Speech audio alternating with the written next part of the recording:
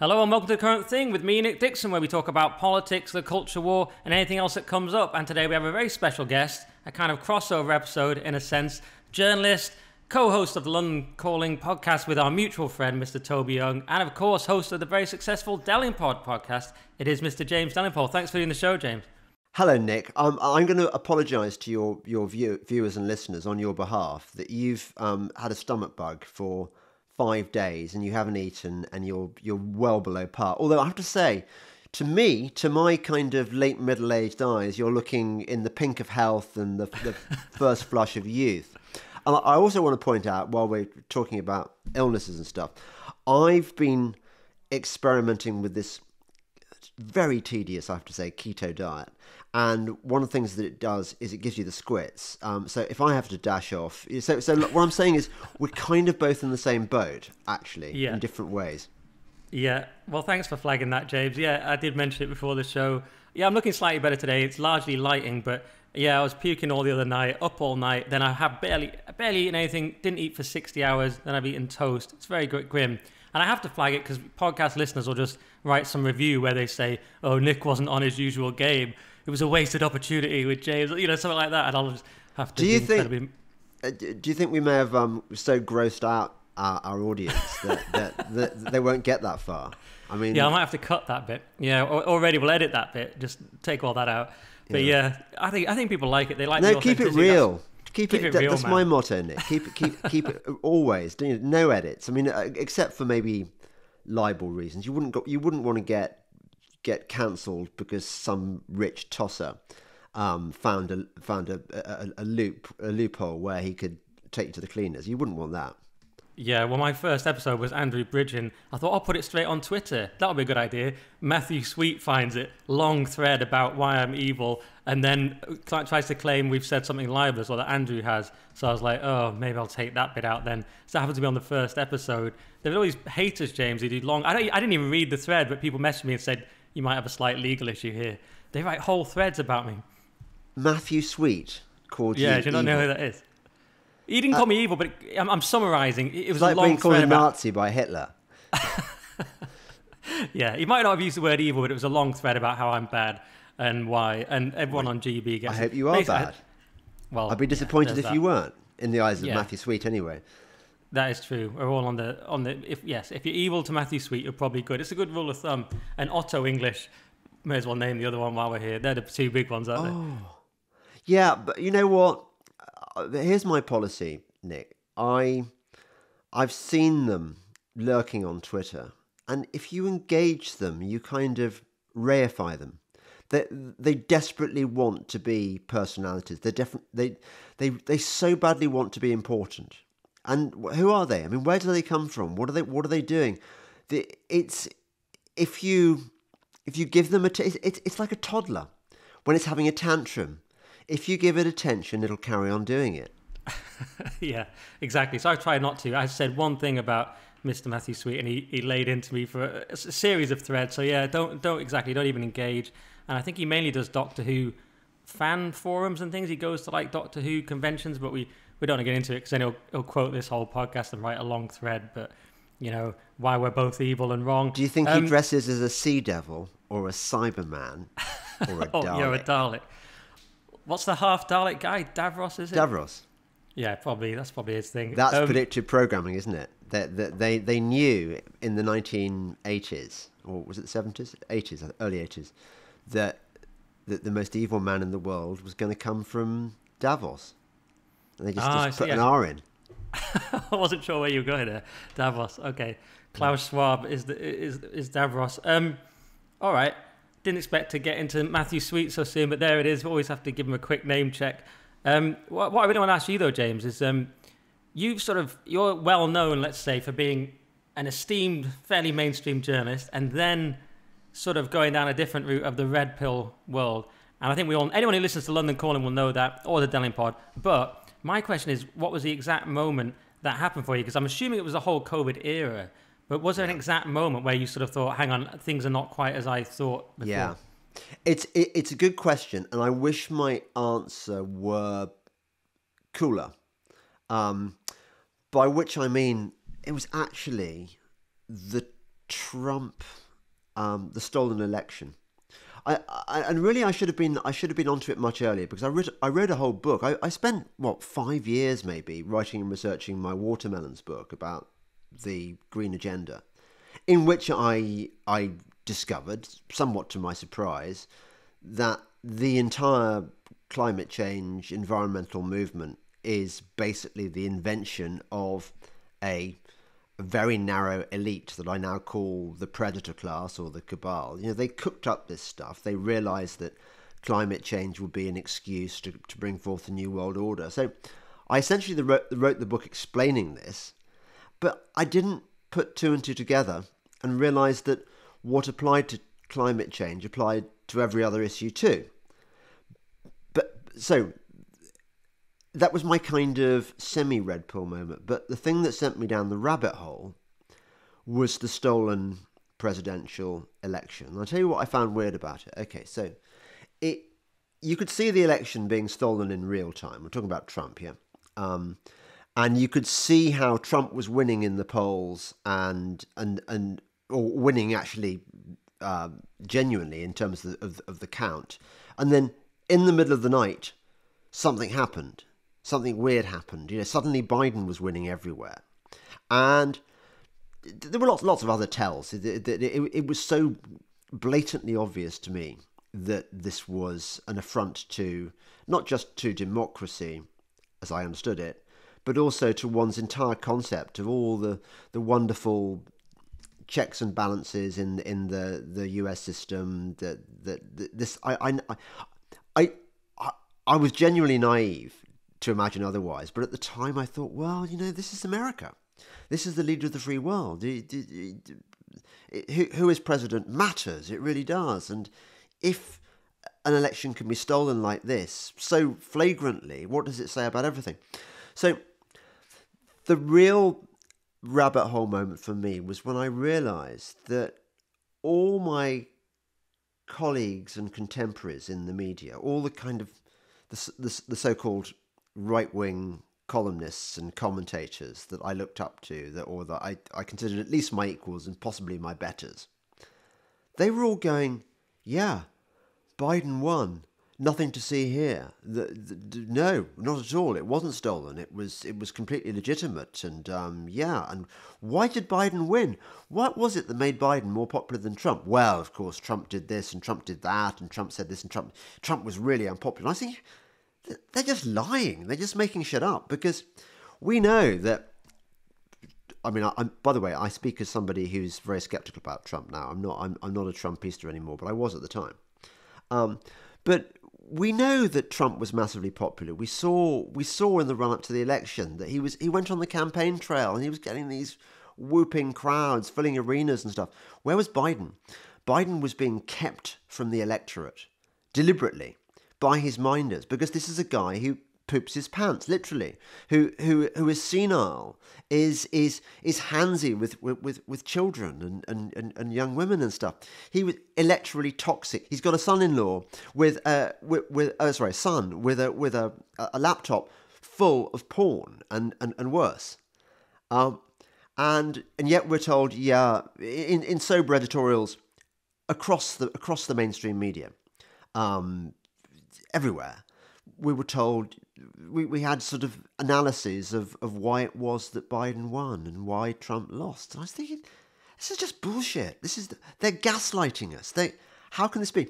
And they they do say that that when you go down the rabbit hole, in order to go there, no one can no one can persuade you. No one can show you the facts. No one can, you know, if I wanted to red pill Tobes um, and presented him with this immaculate dossier on 9-11 or the moon landings and stuff, he wouldn't leaf through this dossier and go, wow, James was right. No, there's, you, you can't fact bomb people into awareness. They have to they have to go through some kind of trauma, and it's the trauma that leads them to realize that the world as they've as it has been sold to them is a lie and they have to question everything that they'd previously accepted as, as, as reality. And the trauma needs to be, I think, gen- generally related to realizing that authorities, that the authorities that you'd, you'd previously respected, cannot be trusted. That all your all your elders, betters, superiors, uh, all the grown-ups in the room were lying to you. They didn't just lie to you in the early days about Father Christmas. They lied to you about everything. And that is the beginning of the heroic journey, and that's and that's where you end up where I am now. Hmm. Very interesting answer. Trauma. Yeah, I'm trying to think where my trauma is. It might just be my whole life, but because um, I've sort of been on a steady diet of red pills for a long time, where that's where I slightly differ from you. I didn't have like one massive moment. I just feel like I was like, yeah, of course, for a long time. So maybe my generation is more skeptical, or, or maybe it's just me. But it's so much interesting stuff there about. Well, Toby, first of all, not to diss Toby, of course, on this podcast, but um, he, he doesn't even think JFK is dodgy. So I mean, that's really, I didn't think anyone still thought that. I was like, come on, Tom. I sort of mentioned 9/11. I said a few things. He still thinks JFK is just totally legitimate. Yeah, I was like, you think it's Oswald? That's he's like, yeah. I'm like, although okay. In in defence of Tobes, because uh, I'm I'm always torn between these positions. Sometimes I think there is no way that Toby cannot be controlled opposition, and there are other times where, and I have to remind people who make this accusation against Toby. I say, I remember not so long ago when I had my column on The Spectator that I wrote a piece once about conspiracies, and I remember I, I had to go to this. I had to go. David Aaronovitch, can you imagine this? David Aaronovitch wrote a book about conspiracy theories in which he purported to debunk all the conspiracy theories, and, and he had a, a Q&A session in the, the Frontline Club um, in W2. And I um, I was bizarrely invited to be the compare or the the, the, the, the, the friendly questioner. So I had a perfectly friendly evening with David Aaronovitch, and I, I sort of more or less accepted his premise that things like 9-11, JFK were um, were conspiracy theories and not real. And it wasn't so much that um, it wasn't that I looked into them, and it wasn't that I even had made an active decision not to look into them. It was more than I just accepted that they were one of those things that just wasn't worth my attention. A bit like football. I again, it just just like life's too busy. You know, I'm I'm, I'm trying to I'm trying to deal with the real stuff. I'm I'm trying to deal with, with, with politics and and whatever my interests are, and and here's this stuff, which I've mentally, subconsciously, indeed, compartmentalize as stuff that I needn't bother with because it's just too weird, and maybe that's still where where where his mindset set is. I think that although I think we do live uh, under virtually totalitarian levels of censorship in this country, although we're, we're constantly persuaded we're not, I think that the most aggressive censorship takes place in our own brains. We've already been programmed not to think things, not to say things, not to do things. Hmm.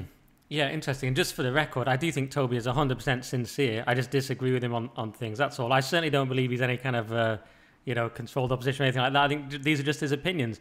My only thing was I just couldn't believe that anyone still didn't even question the most sort of route one conspiracy, which would be JFK, is the most sort of basic example.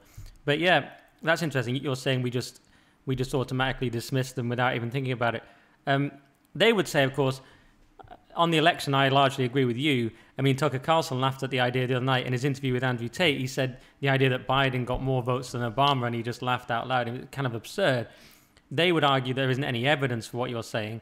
I would. There's also a moderate argument you can do in between, which is that with mail-in ballots and with things like ballot harvesting and with accepting all that what would normally be counted as spoiled ballots, which they suddenly accepted, which made it, which Victor Davis Hanson pointed out made a big difference that they could have sort of done a version of it that's not literally rigging it, but is kind of using semi legitimate or legitimate election methods. But I don't know, they would probably say to you, Where's your evidence, James, for that? Um, for Why that would I claim? care what they say? I'm just trying to put some sort of devil's advocate argument. I don't, yeah, I think it's stupid. I think it's, a, I think it's a waste of time. Fair enough. All right. Well, maybe it's more interesting to ask this where where I slightly disagree with you, or or, or maybe differ from you, because I've been described as seven eighths Team James by one of your fans. So I'm nearly there. But I have a slight difference where my critique, and I know Toby's used this against you because he nicked it from me, but my critique is that is there a danger of having a healthy skepticism towards the mainstream narrative, but then once you become red pilled, failing to apply the same skepticism to your sort of newfound worldview and, and therefore accepting any conspiracy or any you know red pill narrative is that is that a danger well um, first of all I, I, I treat each conspiracy theory on on its merits um, I think what you're what you're asking me is the is the classic purple pilled question and I call purple pill people people who have gone down the rabbit hole and and they're, they're they're comfortable with the with the kind of the regular mainstream conspiracies. I mean, if there is such a thing, you know, they know that that that JFK wasn't shot by a lone gunman, and they know that we didn't go to the moon, and they feel comfortable about this. But they feel uncomfortable with the idea that they've been that in holding these these views, they've been they've cast themselves adrift from the mainstream and that they realize that they're, they, they find themselves in awkward company. And so, in order to maintain a foot in the, the, the normie camp, they they show themselves that um, I see this. You see this with, with conservatives, by the way, which I'll describe in a minute. Um, they, they they find these conspiracies that they de- that they declare ex cathedra are outlandish and they're not going to go there. And, and to hold these views is ridiculous and it discredits the cause. And they show themselves that, look, I may believe in some conspiracy theories, but there are areas where I won't go because that's where the crazies are. And, and really, I, I distance myself from them. You, I often, when, in the days when I used to appear on any questions and question time, um, which I, I, I'm very glad I don't do anymore. I noticed this that when I would be on a, on a panel with the the Conservative MP, the, the token Conservative MP. The Conservative MP would be would take great care to disagree with me on certain issues in order to demonstrate that they may be right wing, but they're not rabid. And, and, so my job was to was was to be the the crazy right winger to be thrown to the wolves. Squishy conservatives are doing this all the time. Squishy red, uh, pink pill, uh, purple pill people are doing this all the all, all the time. So to go back to the point about um, taking each conspiracy on its merits, I before I went down the rabbit hole, I I assumed as as most normies do, um, and I, I, hate to use the word normie because it's because it's it, it, it's one of those kind of slightly sort of pejorative terms. I don't want to dismiss people like you know my parents, or well, actually, my, my parents are quite red pilled, but I don't want to miss uh, to dismiss all the people who are, who haven't yet discovered the truth, because I I, I see them as as you know uh, allies in waiting rather than as the enemy. Um, but uh, where, where was I? That that I used to imagine that okay, so maybe maybe one of these conspiracy theories is true, but I mean, no way they're all going to be true. Maybe it's the moon landings, or maybe it's Kennedy. And then you start looking at the at the at the the more outlandish stuff. Um, say the Beatles, say say Paul, um, or what are the other crazy ones? I, I, haven't I haven't looked yet into flat Earth, although I'm sort of sympathetic to. There's the chemtrails, which is semi. Is that a touch more mainstream? Yeah, chem, chem, chemtrails are mainstream now. I mean, you've got you've got footage of of U, of, of UN meetings where where they where they they're perfectly upfront about. They, they, you know they call it weather modification or geoengineering or there's all there's loads of right, evidence out there that, that chemtrails are real. It's not that's not that's not a particularly good example, I'd say. No. I mean, not, not... Well, Paul McCartney's a clone is out there. Dinosaurs didn't exist is quite out there. Yeah, it is until you look into until you you start looking into it. I mean, I think. Um, but I'm talking about which ones are perceived as more crazy versus the yeah, yeah, yeah, sure, yeah, sure, sure. So what I'm saying is that is that it, it it's very easy to knock these things when you haven't looked into them. I, I when when I hear somebody who who understands that that who understands that 9/11 wasn't planned by a man in the ca- in the cave, and when they understand that JFK was not shot by an extraordinarily skilled lone gunman from a, a book depository, um, when they're saying, well, ha ha ha, you think that dinosaurs exist, I don't go, um, oh, maybe he's caught me out there. I go, well, it just hasn't looked at the evidence. You haven't haven't thought it through. I mean, think about this. Think about this. What is probably the biggest conspiracy theory of our entire Western culture since the the mid nineteenth century? What's the what's the big lie that gets repeated everywhere? Oh, sorry, I didn't. I thought it was going to be rhetorical. I didn't realize I was going to actually be asked. What's the biggest lie that's been repeated since the 19th century? Yeah. Evolution, you mean? Yeah. Yeah. Now, I this this again is a, is a is a measure of the the rapidity of my journey. Um, I think that the best journalist of his generation, um, certainly the best journalist I've ever known, was Christopher Booker, because he asked the questions that other journalists are afraid to ask, and amazingly, he he he flourished in a period where it was still possible to get get those opinions across in the mainstream press. I, I mean, no way would the Mail publish the kind of pieces that, that it regularly published under Booker's byline on the stupidity of tidal power or, or um, the injustices of the of the family courts or whatever. I used to chat to, um, and we were, we were obviously we, we worked together on on the, the whole climate the climate wars, but we used to have many private conversations, and he told me uh, towards the towards the end of his life that he had his doubts about evolutionary theory. And I thought, bloody hell, that's a bit that's a bit wacky. Uh, he said, well, yeah, yeah. He said, I, I, I, I, I got flown out to these these high level discussions. Peter Thiel um, flew us out, a few of us out. We had we had a you know a weekend in a, an agreeable um, ranch or whatever in California or something, and he mentioned people there. Thought, that that's great, Christopher. That is very niche. I said, I said really, what you, you you don't think evolution is real? Because like like everyone knows, duh, like, like everyone knows that that we ha- there was a big bang, and then we then there was a kind of the primordial. We, we've even got phrases for it, haven't we? Everyone knows the sort of primordial swamp, prim, primordial soup, and then we were sort of amoeba and things, and then we sort of became bacteria or or, or bigger things, para parameciums, I don't know, and then we got bigger and bigger, and then yeah, and eventually we we you know the ape got bigger and bigger and more sophisticated, and it eventually became us, and we, you know we everyone knows this. It's repeated in pretty much every article about biology ever. You know, everyone shoehorns in evolution and stuff. So here was Booker, the man I probably most admired, the intellect, one of the intellects I most admired, telling me that he had his doubts about evolutionary theory. And to his credit, he knew how to operate. He didn't say, "Well, James, you've got to realise that it's that it's all it's all complete bollocks." He didn't do that. He didn't do that. He said, "He said, well, he said there are there there there are one or two problems with it." I said, "Well, well, what?" He said, "Well, um, the the fossil record, the um, have a look at intermediary specimens. I said, what do you mean? Well, well, just, just, just you know, even doubt, Darwin you know, uh, and and so he just planted the seeds of doubt, doubt, but didn't push it. And if only we're, the problem on when you get down the rabbit hole, you want to go out there and say, it's all a lie. Everything's a lie. Everything we've been told is just like you know. Have a look at this. Oh, just blah blah blah blah. And and people just go, he's a madman.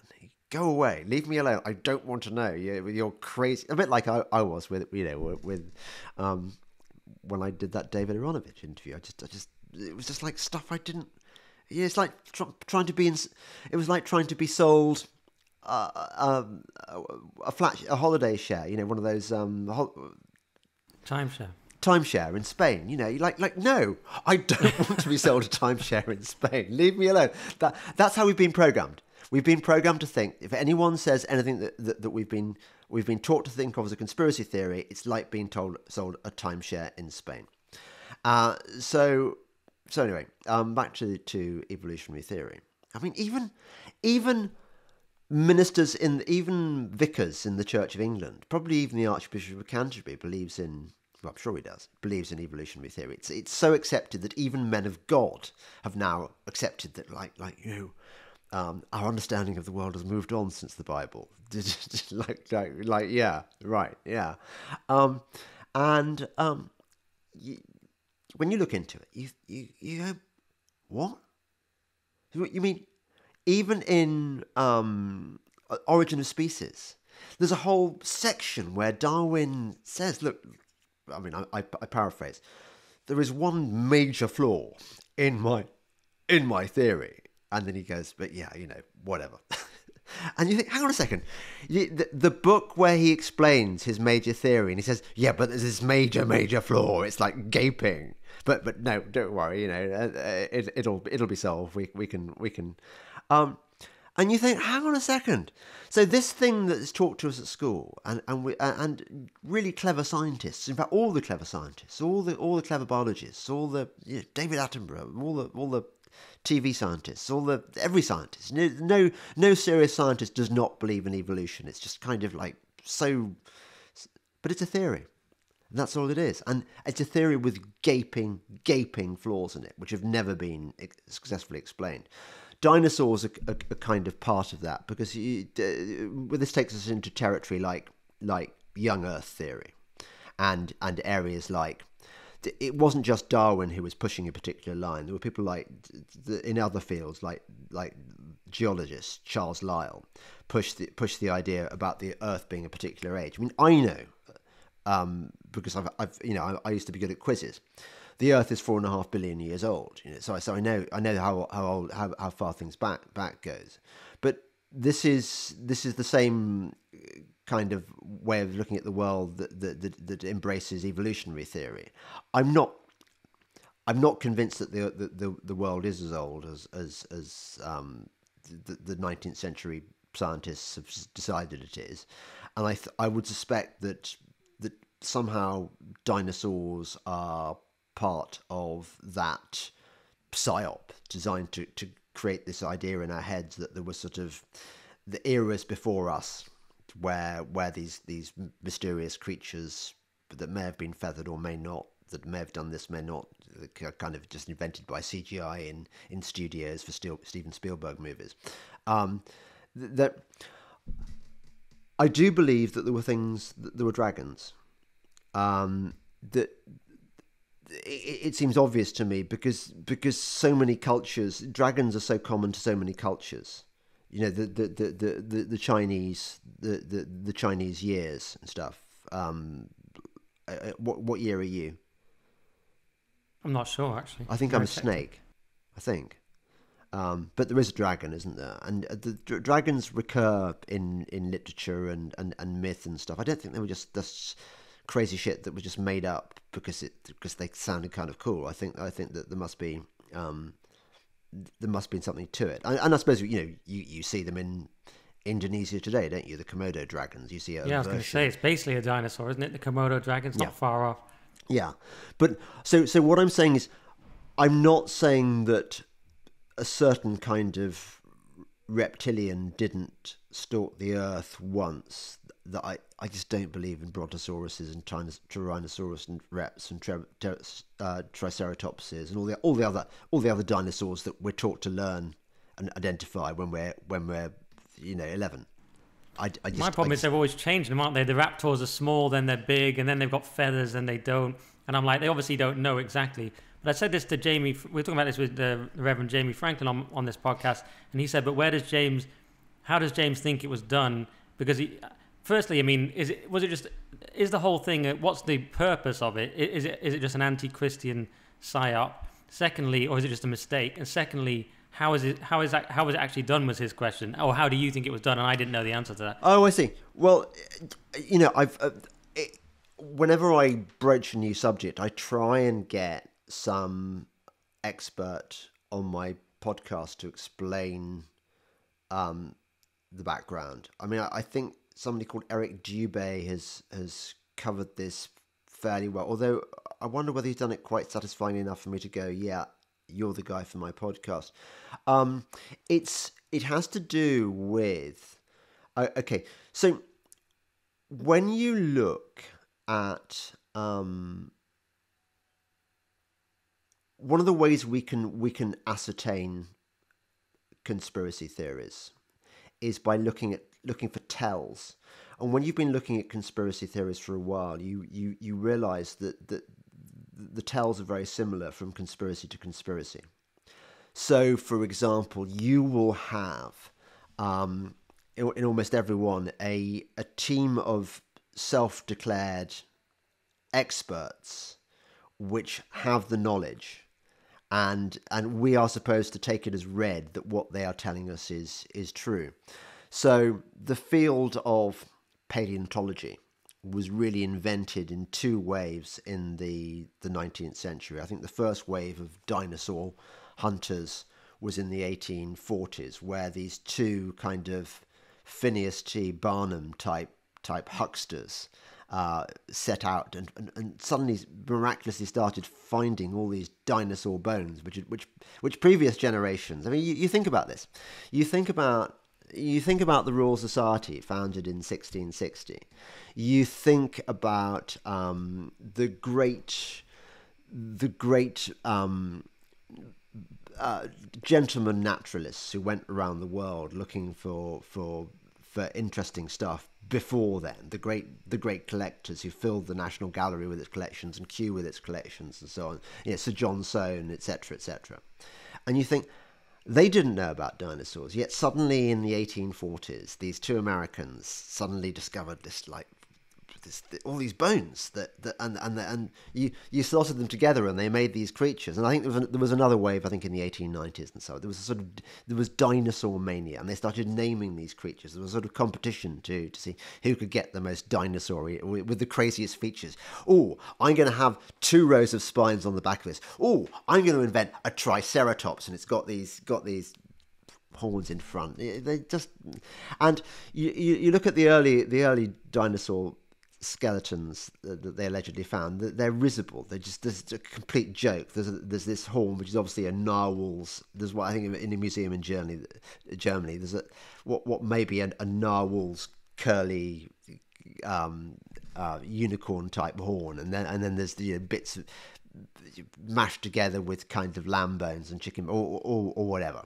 Um, that that when you look at the these these great exhibits in all in all the um, in all the the, the national um, the, the museums like the Natural History Museum. I mean, every every great city's got a Natural History Museum, and they're one of the. They used to be one of my go-to places. You know, I used to always want to go into the into the Blue Whale Hall or or the Tyrannosaurus Hall or whatever. And, and there's a great one in America, in, in, in New York, and one in Chicago. Everyone's got them, and why is that? Well, well, okay, I think they're pushing a narrative, but and, and why and why are dinosaurs the dominant thing? Again, I, I think they're pushing a narrative. When were these places established? They were they were largely established in about the period where where where Darwin, Darwinian theory was being pushed, weren't they?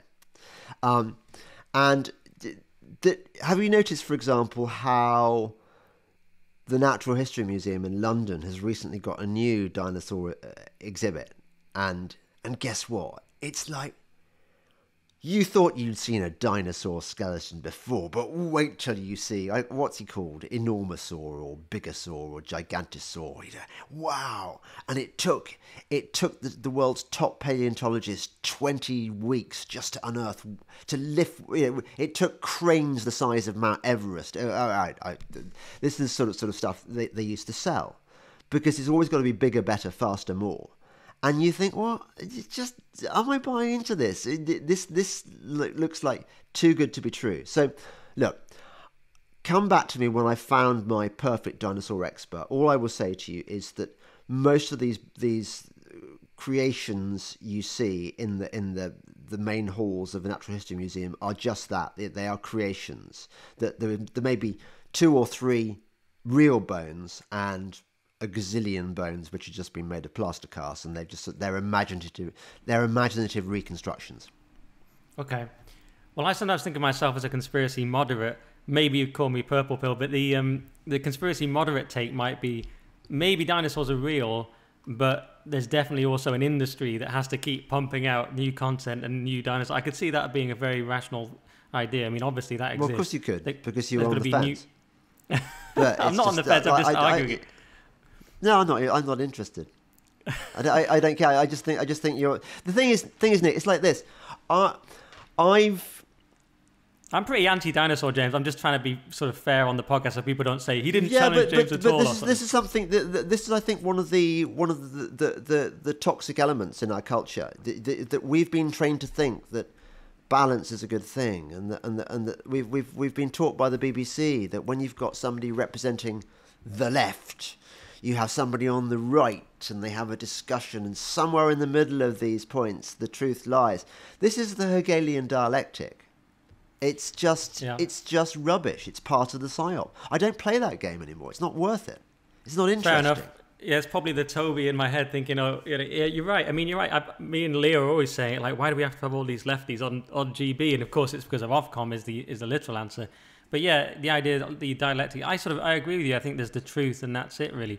So yeah, we don't need to have the person saying, oh, we should have bought babies up to nine months. I'm like, do we have to represent that view? That view's been represented several times on GB News. I'm like, we have to represent the murderers. I think that's kind of Yeah, well, I'm very glad you made that point because this, this is where I am now. I believe that our only duty is is to the truth. The, the truth is the only thing that matters. And people say, well, what do you mean, your truth or my truth? No, truth is, is an objective thing.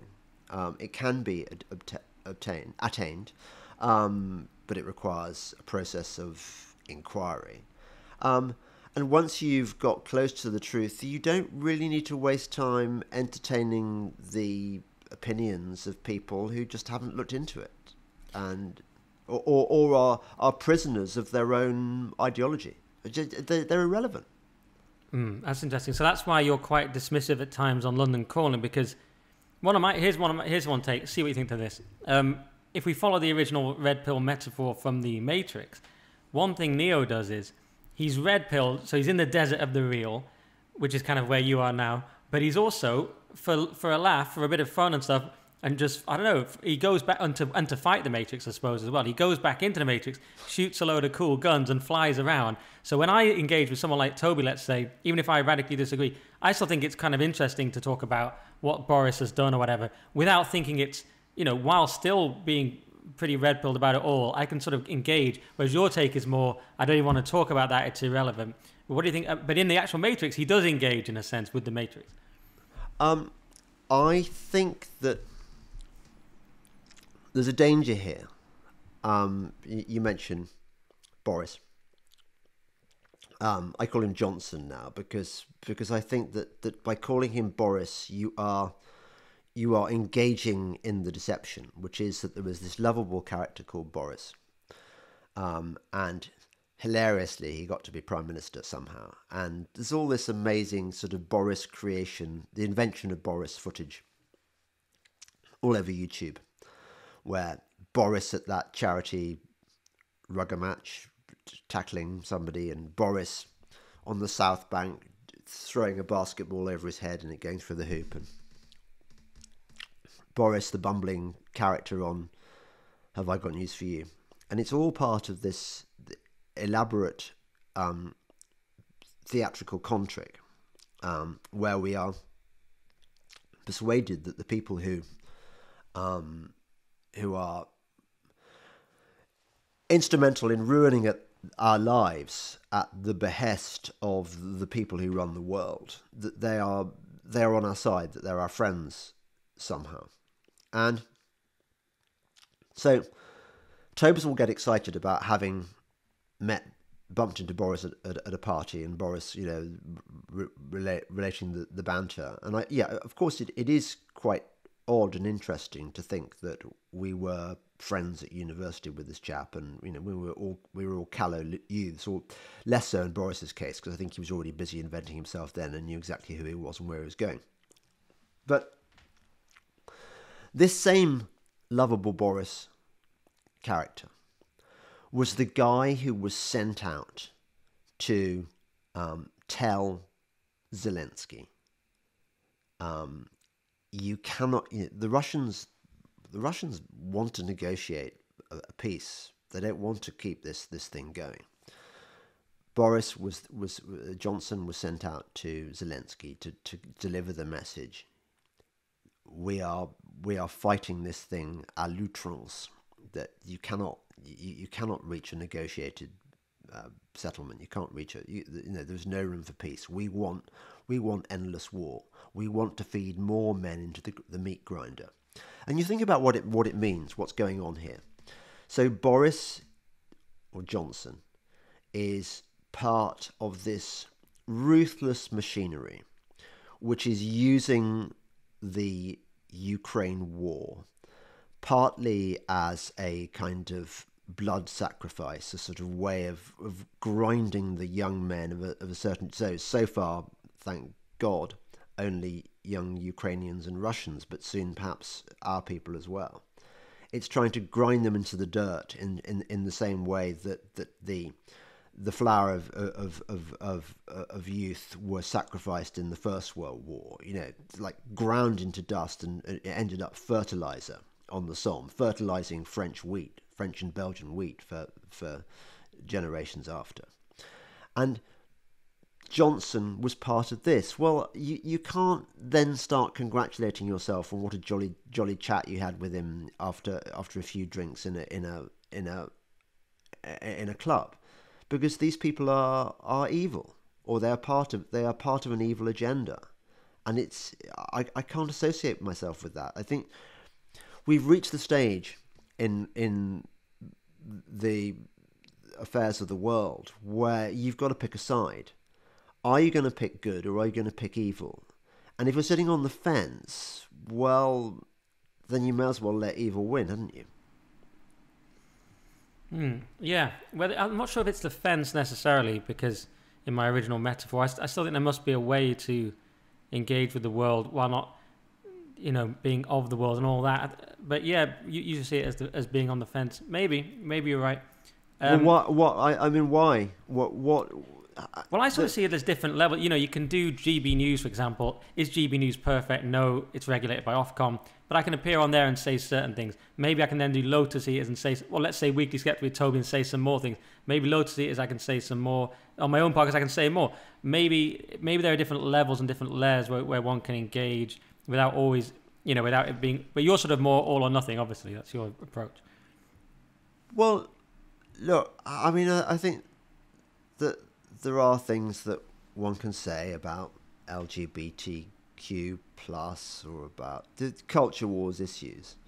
Um, but I think that the culture wars are a way that people can, in the nicest possible way, people can pretend to be a bit edgy and contrarian and like fighting for freedom without actually fighting for freedom. That, that yeah, these these are distracting issues. They're not the real thing. Because a counter to that might be that you know, let's say someone like Andrew Doyle does great work on a number of culture war issues, and then you know you're doing your thing, and maybe they can all exist. They're all sort of broadly, they're broadly anti this. You know, obviously you go a lot further, and Andrew is very strangely sort of didn't see through the COVID narrative at all. It seems. Well, I, I, that's not quite the case. Actually, uh, to be fair, that's misrepresenting. I brought him on my podcast. He said actually he was criticizing things like COVID passports from the start and all this. He just didn't understand the what he saw as the sort of epidemiological part of it. What? And has he come out since against the vaccines? Yeah, I think he's. I think he. I, I don't want to misrepresent his position, but uh, the point is, there are people that fight certain things, and then there are others, others for other things, and we can all sort of. One thing that's bothered me. See what you think to this is there's been this kind of purity police, I call them, that's emerged, whereby we, if we don't do everything perfectly according to them, I'll, I'll, give you one example I get a lot, which is that I was supposed to quit GB News when Mark Steyn quit. So I'm, no problem with Mark Steyn. Would be interesting to chat to him. Never met him. I believe I was probably earlier onto the COVID stuff than him. I believe my vaccination status is more pure than his. I don't can't say for sure because I don't know it but I, I, believe that. You didn't know Mark Steyn's. He he had the jab. That's why. right. I didn't want to say if it wasn't definitely true. I thought he did. Okay, I wasn't 100. percent So there you go. So I so I'm a pure blood. So but then suddenly, and I've been against it from an earlier point than than Steyn, and yet I get all these people tweeting me telling me I have to quit my job, and they know nothing about my background or his background. Maybe his life's much easier than mine. Maybe it's taken me years and years to even begin to have any money at all. But I'm supposed to quit. But I will quit, James, on my own principles but not on yeah. someone else's that are made up that I'm well, being told on Twitter. But isn't there a danger with this side? Uh, you know, we get. Well, what do you think? Well, luckily, luckily you've you've made it easy for me by giving giving a really extreme example. Of of, of course, you shouldn't um, quit your job at GB News, uh, except on your totally on your own terms. I mean, you're you're you're a young man. You you you need a career. You need money. You've got you, you know you've got talents which are suited suited to the job. Why should you throw yourself on the altar of of principles so high that almost nobody could could live up to them? I I wouldn't expect. Of, course, you're going to get people on people who are sort of uber uber zealots. I, I, I agree with you. Look, there are people who purity spiral me. I mean, there are people who. That, that, who are those uh, people? James yeah. isn't pure enough. I mean, that's, that's to me. That's yeah. Incredible. There are people who think I'm a. I mean, I, I, I get all sorts. There was there's there's a website which specializes in, um, looking at your. Um, do you know about elite gender inversion? Um, EGI. Don't think so. Not no. Well, this is this is this is one of the more. Unless you niche. mean like having trans Hollywood people having trans kids and stuff. You don't mean that. That well, I, I think part of it is is this is again one of the one of the more um, outre rabbit holes.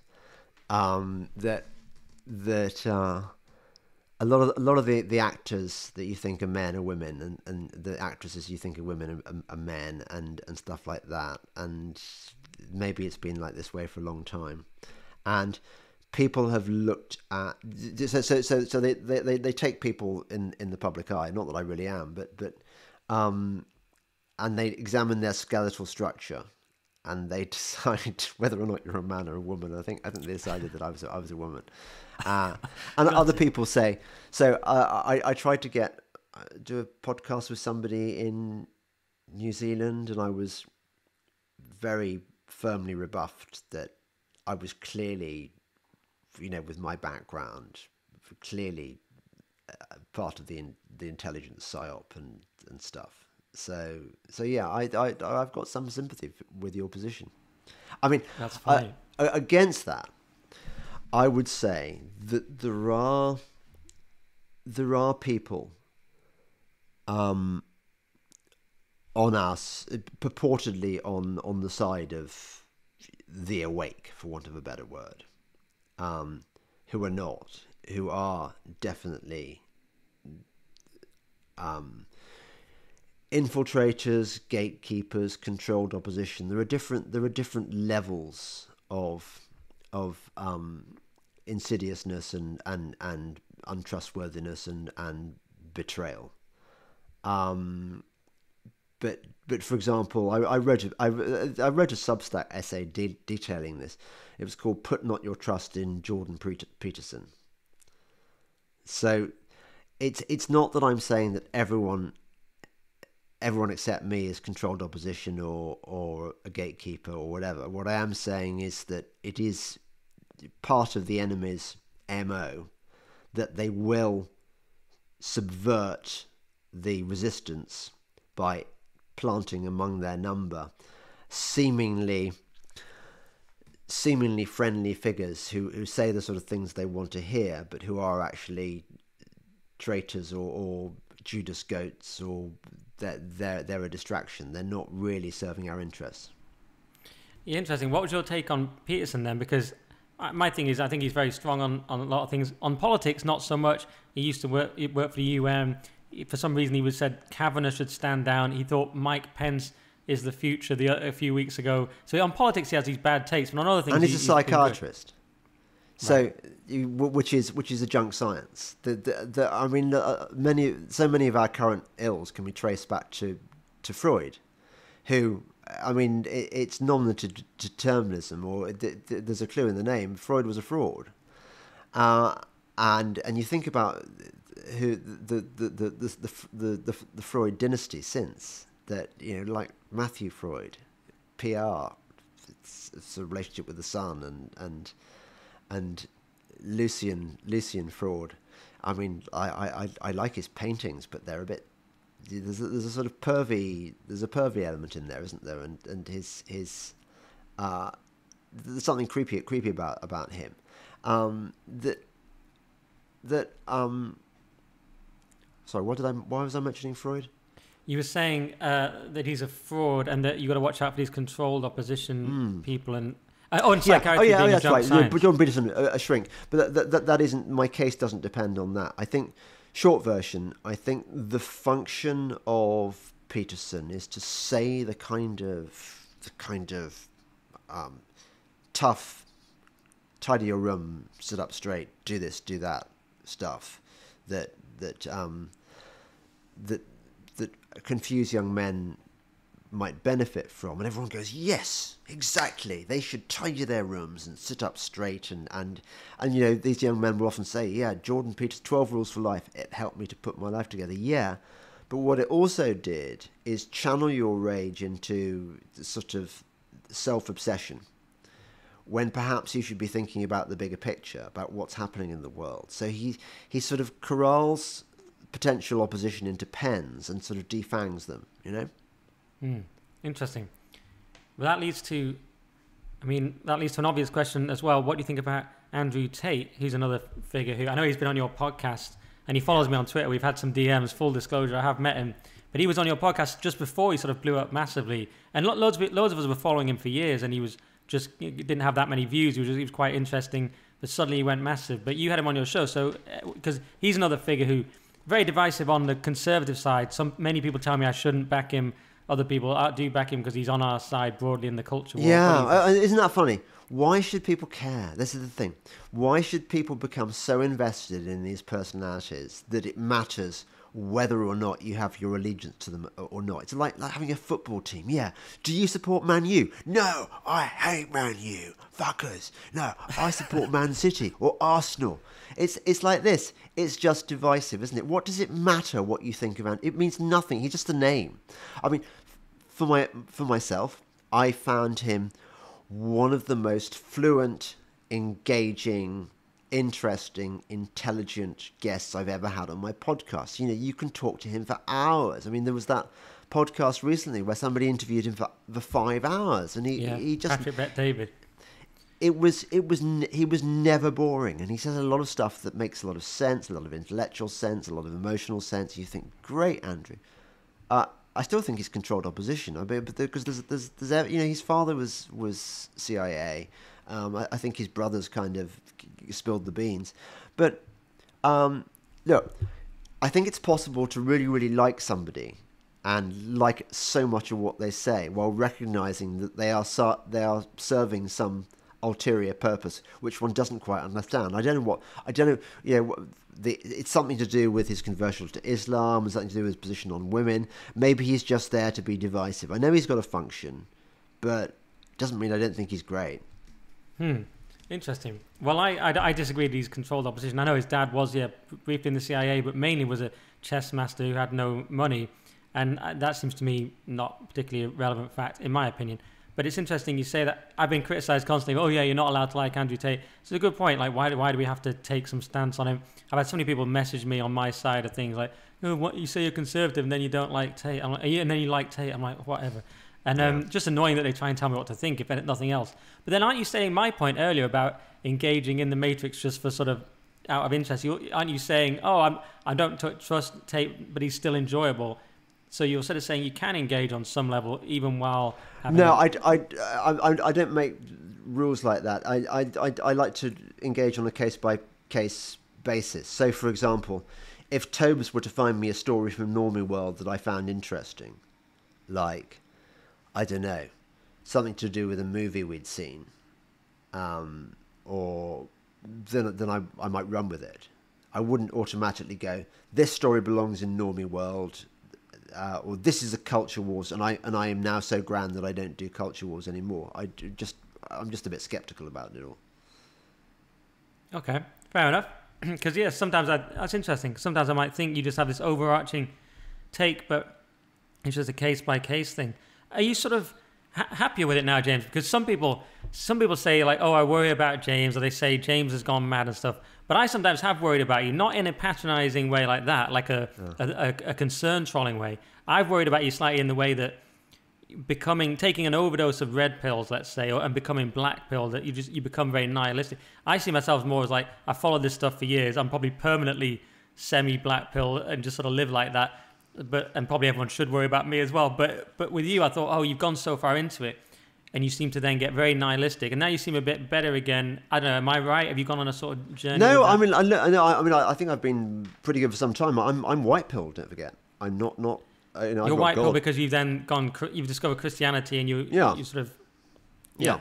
So that's sort of and you that made a can't be you, you you can't be unhappy when you've got Jesus. I mean, you can't be because you understand that that all this is meant to be, and that God has got your back, and and that this is all all written. That um and it gives you gives you strength and and joy because you know you know that that whatever happens in this world is not the end and um, yeah, it changes your your understanding of the world. But I, I'm I mean to answer your question, I mean I'm I'm I don't think I've ever been happier in my skin. I've discovered what I enjoy doing. I've got this job, if you could even call it a job, where I I not only enjoy doing it and I can earn a you know just about a, a, a living from it, um, and uh, I feel like I'm doing something really useful and important in the world. And you know, I I, I sort of partly I think I'm there to reassure my constituency that they're not alone and that they're not going mad. And partly I'm there to evangelize, both for to help people understand the world better, but also understand the the, the spiritual world better, to, the, the, to to bring them over to to Christ, because that is where happiness and salvation lie. And it, I, I, I, I used to sort of, I think, culturally we've we've been we've been encouraged to think of Christianity as a sort of cringe thing, and, and uh, you know when whenever God botherers come along, that um, oh right, run away, run away. Um, now you ask yourself why that is. What, what, why, why would that be? Why, why would the, the the the thing that you're encouraged to be be embarrassed about be Christianity and Christians? Well, I would argue that this is a sign that that the forces of darkness have been in operation in our world and well have been since since time immemorial, but but are, but are probably getting more and more and more advanced in their um, their diabolical plan. Um, but at the same time, I'm careful not. To, I don't. I don't like frightening the horses. You know, I, I like horses, and I don't want to frighten them. And I I don't want to sort of. Um, I don't want to put off would-be converts by by seem, seeming too too upfront. I just want to kind of. uh, But that is definitely part of my mission, there, because it's made me very happy. Oh, good. Well, I'm, I'm glad. I mean, yeah, Alistair Williams had a very similar thing as well. He he he had discovered Christianity and was much happier, of course. One review criticised me for saying he's saying, "Oh, it's just become evangelizing on your podcast now, Nick. It started well and all this." This endless criticism. We, we mainly have great reviews, by the way, but this, the bad ones stay with me. But but on that question, when did you? You said it was the 2016 election that made you sort of red pill. When did you sort of go back to Christianity then, or was there a moment again, or was it gradual? Oh well, um, it's like the um, that question about you know um, how did you go bankrupt? Um, very slowly and then all at once. Um, I, I I had a sort of I'm writing a book about this at the moment, and and uh, you what you realise is that when you look back, there are these staging posts on your journey to like there was so when I was at Oxford, I had this friend called Wilton, and Wilton, Wilton Barnhart. He's a, he's a successful American novelist, and he's a literary professor in North Carolina. And Wilton and I used to go on these spectacular road trips. Uh, um, I said, well, spectacular. They're bloody exhausting. A lot, a lot of a lot of culture crammed into a short space. And one year he said, you know, "Do you want to come with me to Mount Athos?" And um, I was, um, "Wh- where? He said, "Well, it's a it's a peninsula, and and and, and since since the era of Emperor Constant Constantine, no no female has been allowed there. not even allowed female livestock." And uh, it's it's it's a, a sort of colony of it's a, it's a peninsula with all these monasteries on them. Some some of them dating back to the 13th century, and I, I I've applied for a special pass for us to go there. Do you want? I thought, well, monasteries, uh, yeah, yeah, I guess. So I go on this trip, and you know, like I'm I'm 19, 20, and all I'm really thinking about is I want to be. If I'm going to Greece, I want to party and and take well, I don't know, take drugs. It's quite it was quite hard to get drugs in Greece in those days, but certainly drink lots of beer and, and, and try and pick up birds and shag them, you know, like that.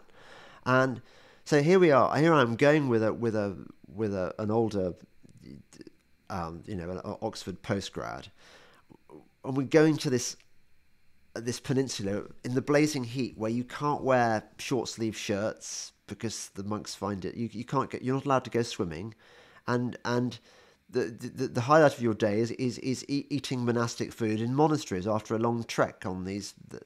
But I remember once, once there was an experience, a sort of um, we got to this one monastery in in, in, in these in these woods, and they're they're, they're very medieval. That there were these huge wooden doors and with with a little grill, and, and, and you knock on the door, and is anyone home? And then this face appears at the grill, and and then a novice monk might come in and and he'll give you this well water with with a, a, bit of sherbet in the bottom.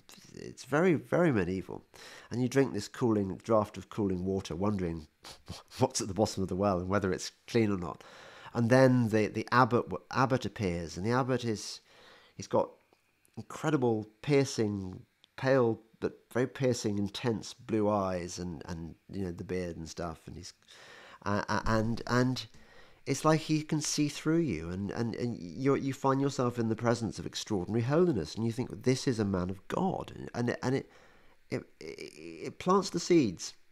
So you you then moments like this and then you fast forward and then as you say you you once you get, you've taken too many red pills inevitably you get the black pill. You realize the world is so messed up and there is so much evil in the world. That's that's that's the thing. You see so much evil. What can we do in the face of this? There is no hope. There are no white hats. Not even not even President Trump is a good guy because he pushed the vaccines. You know why? Why was that? You know what?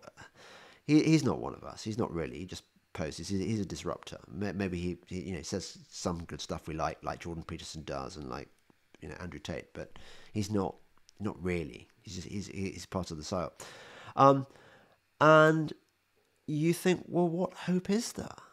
And you then you then start thinking, well, hang on a second. If there is this so much evil abroad, and who is the author of this evil? It's got to be that it can only be the devil. The, the, the devil is real. That the, the, there's no other explanation for this kind of the depth of depravity in the world.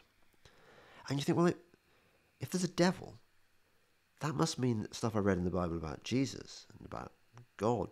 There must be a counter because this is a world of dualities, isn't it? That everything has its opposite. Every concept, good and evil, hot and cold, um, night and day. It's how, it's how the world seems to be arranged.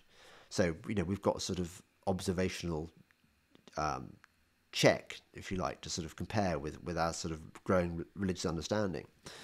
Um, and um, I sort of went from there really, and and it, and there's a feeling that grows, and you get these moments of,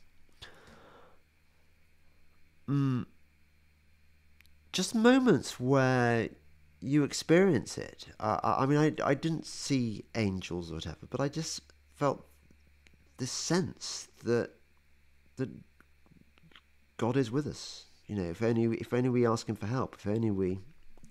Um, and this has grown since I've you know. Then you start reading the Bible, and your faith grows and you get sort of shaky moments. You it, it, it, it's it's very fun at the start because you get all these weird experiences like you know when you do sort of you open the bible at random page and and lo you can you, you find that the text you read is extraordinarily relevant to your experiences. It, it gives it's like it's like magic but you it's not called magic. It's it this is this is holiness. This is this is um, how it works. This is this is the, the real the real magic. This is this is Christian Christian magic. Um, and, by the way, the, the, the, there there are some there are some sort of holier than thou Christians who say that you shouldn't play these games. You know, you shouldn't. It's like a form of divination doing this in the Bible. But I'd refer them to St. Augustine. This is how Augustine finally, finally converted to Christianity.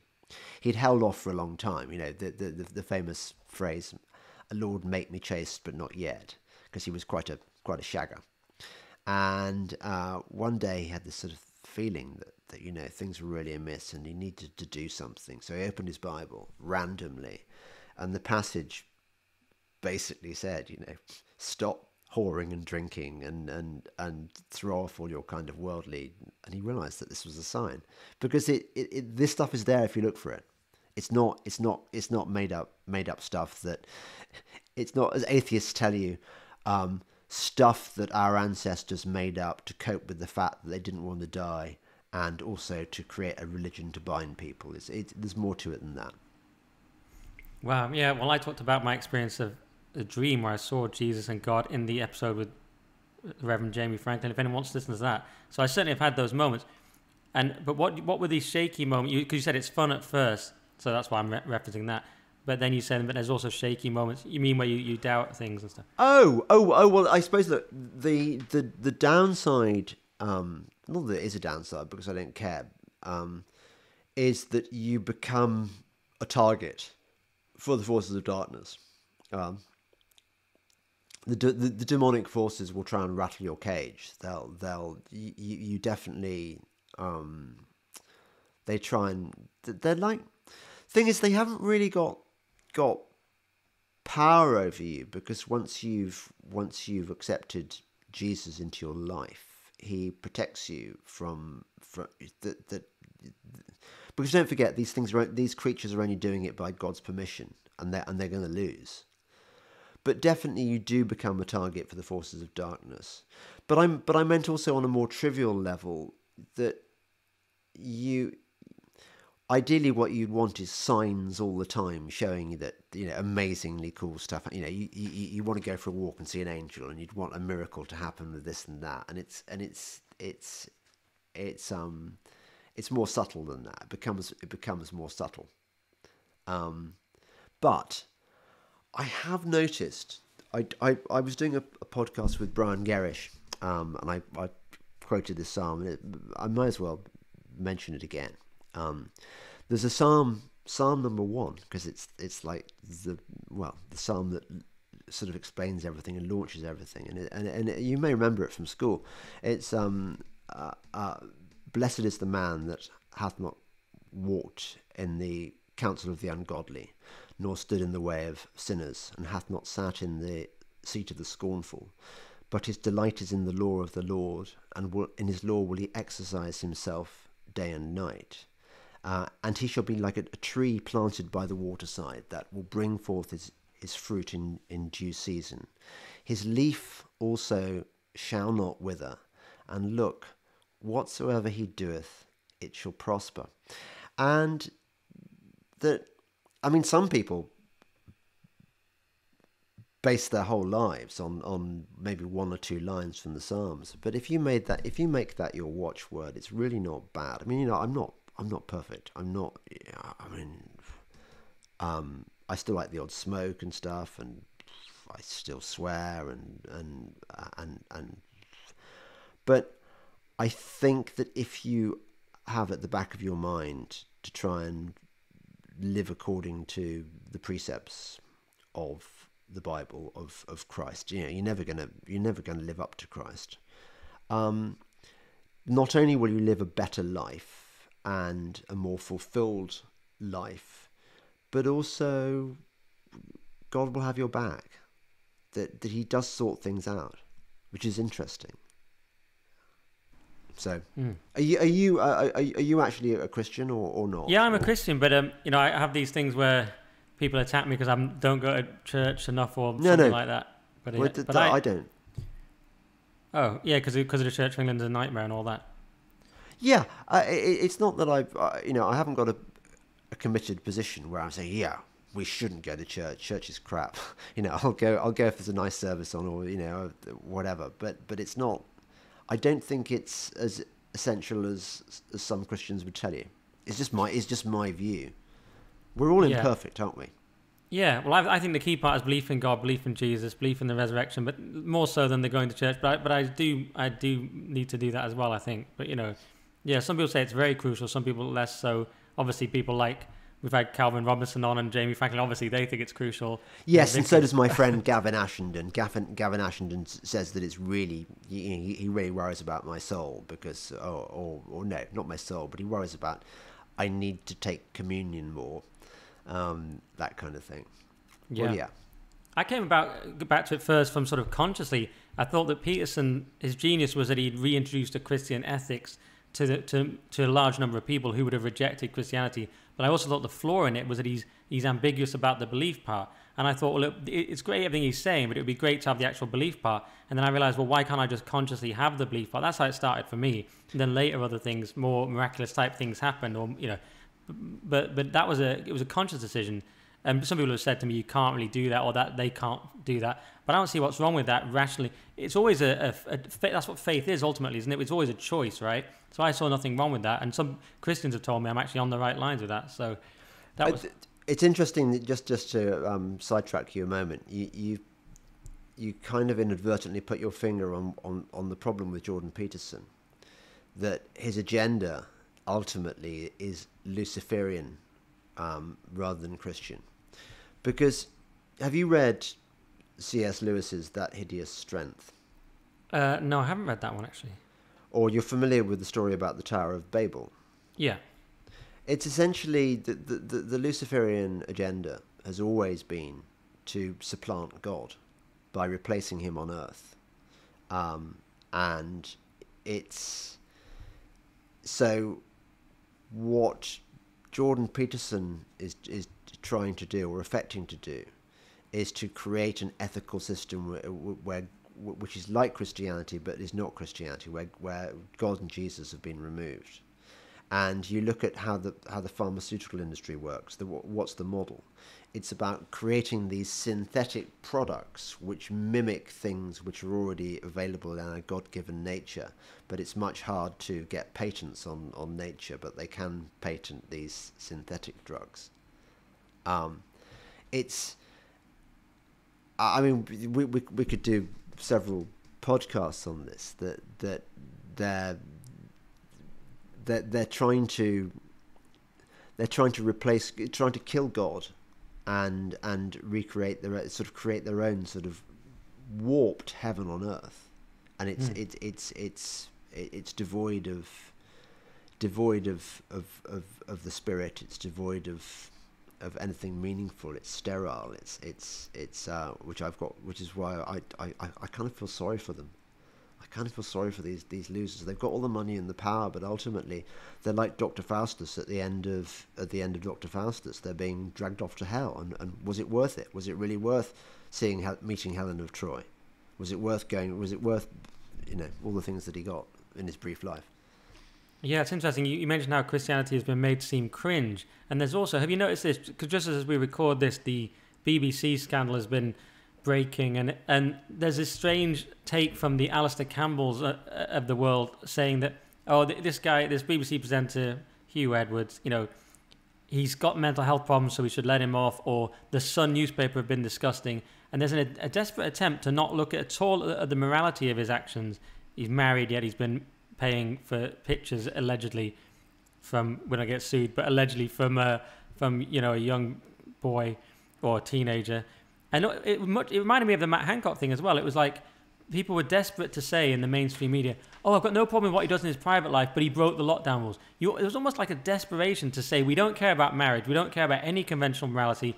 We want to be almost signal that we hate that, but then we care about some other thing like the Sun newspaper or the lockdown rules." There's a sort of amongst the new elite, if you want to call them that. There's this whatever they are, this media elite, whoever the Alastair Campbell types, the people that Matt Goodwin cites.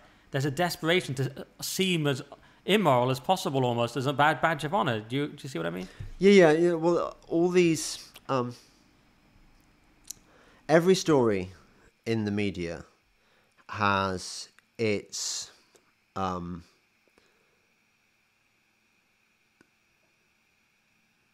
ostensible purpose, and then there is the, the then there is the real agenda underneath. It's always it's always like that. So I mean, the the the, the recent non-story involving um, the news presenter, who nobody cares about really, is to well, it, it probably serves a number of purposes. I mean, on the surface, it's about, ooh, here's a bit of tittle tattle about a celebrity. But underneath it, it promotes a number, number of other agendas. For example, the idea that, yes, as you suggest, uh, a married man, a married, much older man, that when he allegedly pays 35 grand to a crackhead rent boy. um, and, and, the story gets reported in the media um, that somehow this this guy is the victim. I mean, uh, and at the same time, it promotes the idea that yeah, it's a bit dodgy, but he did nothing illegal. So it so it sort of reinforces in the public imagination that that that okay, so it's not right exactly, but it's not as bad as as, as they they they feared it might be when they first read the story. Uh, it, it gradually contributes to the to the moral degradation of society. Uh, it distracts from the much more serious sexual problem, uh, sexual crimes committed by by the the establishment, um, by the entertainment industry. I mean, you think we're we're talking terrible, terrible, terrible things that happen. You know, m- mostly involving underage children, and the, the entertainment industry, the music industry, uh, the establishment is rife with this, and yet here we are where, where, where it is being suggested to us that the worst sex crimes out there being committed by celebrities are legal, you know, exchange of money uh, for naughty photographs with a kind of 17 year old. Well, it, it, it's, it trivializes the real problems of the world and distracts people. Yeah, yeah, yeah, I agree. Um, all right. Well, that was a really great section on Christianity. Because um, we've done quite a long time, Jez. Don't, don't want to keep you forever, but I do want to ask just a couple more little things I always ask. You may have answered them already in various ways, but I like to ask people whether the country, Britain or England, if you prefer, is is finished. What do you think? What do you think about that? Yeah, it's finished. Yeah, that was a quick one. I mean, yeah, I mean, I wrote an article on my Substack saying England is lost forever, so I do kind of feel like that. Why? Because of what? Mass immigration? Because of everything? Everything. Yeah. Fair enough. But by, by design, the, we're, we're, we're watching the controlled demolition of, of, of the West, of Western civilization, for what it's worth. And this has been planned by a satanic. Um, the people who've always run the world. Um, the you know these are the, the people in charge now are the descendants of the ancient ancient bloodlines. Their loyalties are to to Satan. And of course, Satan wants us all to have a jolly miserable time and to, to, to destroy God's creation. So go figure. All right, no offense sitting on that one. Um, this one is almost answered perhaps by that one, but I always like to ask if we can win. You, you might not like the frame of the question, but I sometimes ask, can we win the culture war? Perhaps it's a spiritual war. Is there any way of winning this on this earth then, James? What do you think? Well, we do win we will win. But I suspect that probably at this stage we're going to need, and we're going to get, divine intervention. Um, I mean, you know your Bible. You, there, there are loads of instances where the children of Israel are really up against. It. I mean, you think about the forces that uh, that are arrayed against them. That, that there's Babylon, there's Egypt, there's the Assyrians, the whoever, well, there's the, the, the hosts of Midian, the Canaanites. I mean, they're surrounded by enemies who want to kill them, and they're often grossly outnumbered. And there are occasions where God just, uh, well, yeah, God just sends sends a, hand, a handful of them forth, and they, they beat the enemy. I think that I think that's how it is. I, I mean, look, it's possible that thanks to the work that you and I do and others, that will awaken awaken enough people in, in time. But people are waking up. I mean, although people are waking up, they're still doing it quite slowly, in my view. Yeah, certainly the COVID era has accelerated it, but but yeah, maybe not enough. There's still an awful lot of normies out there. Yeah. Yeah. Fair enough, but it wasn't quite as negative as I thought. I mean, you know, you, you like like you say, you're white pilled now, and it's uh, it was fairly fairly optimistic.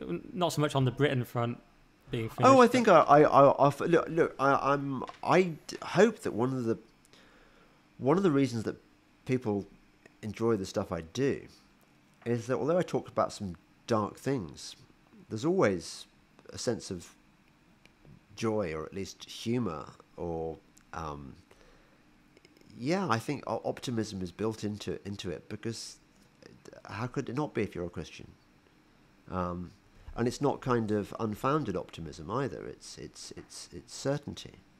You know, I, I mean, the, the story ends well for those of us who who um, who are not the ungodly. Less so. yeah, not fair. Yeah, that's, that's a good point. Um, As for the ungodly, it is not so with them, for they are like the chaff, which the Mm. wind scattereth away from the face of the earth. yeah, I'm impressed as well that you've memorized all these things and, and the whole psalm. It's it's good. I need to. Well, it's what more. monks used to have to do back in the day. Right. They had to Right. they had to learn the entire psalter. So I'm just a beginner. I'm a Wow. novice. I That's want to be an abbot one day Yeah, yeah. Oh, maybe you'll get there. Um, with my beard in my in my monastery in Mount Athos. yeah, where only men are allowed, like sort of like. Well, actually, no, you know I'd really like I'd like a parsonage in the country with a string of hunters in my stables. I can see it, James. You, you seem quite close. You've got the horses. You're into the hunting, Well, I haven't, but I haven't got them. But I, but I, but I, yeah. right? You're horse adjacent. I'm horse adjacent. Yeah, Harlings are good. Harlings are my friend. Yeah, and why do you think you're doing so well? You got you sold out like 900 seats. Your podcast is very popular. Do you think it's just that you're just telling the truth as it is? Well, I've got I'm I'm quite a niche podcaster, but I've got a very loyal audience. Um, who I when I'm not burning them, which I do, I'm I'm, I'm quite I'm quite strict. I'm like my my. I had this brilliant, I had this brilliant tutor when I was at, at university, um, who I credit with forming my mind. I mean, his politics are completely different from mine, but the point is, his politics never entered into our tutorials, you know, our discussion of literature. It was never tainted by the crap that taints most English literature courses. Um, I, and I love him, and I always respect him. Um, and I'll be eternally grateful for what he's called Peter Conrad. He's a, he's a genius.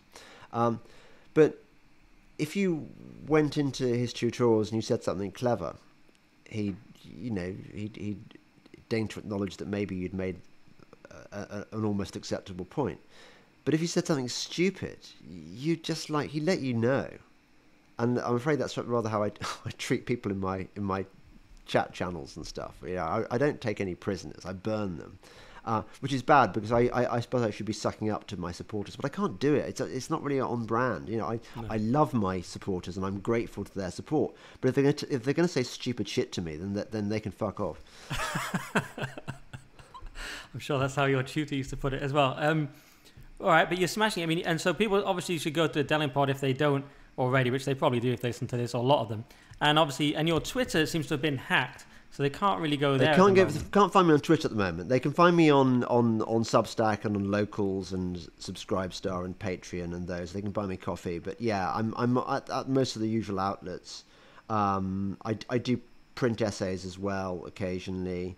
Um, and my live events are really good if when I can get around to organising them. I've got one coming up on the 28th of this month, July, in Dorset, um, which is on um, what's it called?